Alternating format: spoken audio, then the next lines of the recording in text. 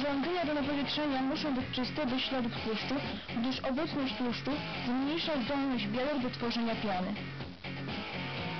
Prawidłowo napowietrzone białka zwiększają swoją objętość 4-5-krotnie.